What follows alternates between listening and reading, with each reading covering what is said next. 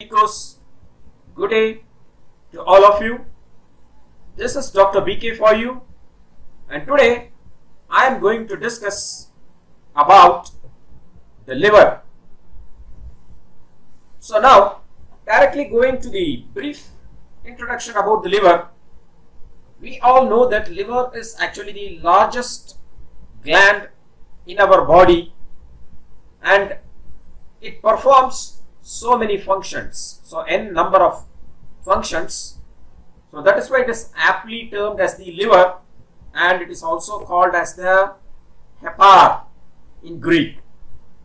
So that is the term, that is why we call it as hepatic, hepatic flexure of colon, hepatic segments, hepatic artery, hepatic vein and all those things. Now, basically the liver is an exocrine and it also performs some endocrine function also. So it performs n number of functions which I will try to enumerate a few of them.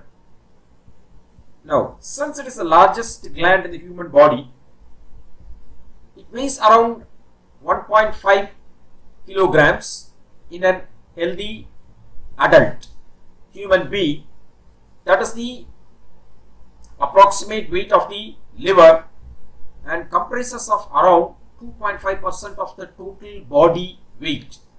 So it is actually 1 40th of our body weight. So it occupies our right side of the abdomen, right upper part. So that is the right hypochondrium epigastric and also extends to some amount onto the left side also crosses the midline and also extends to the left side.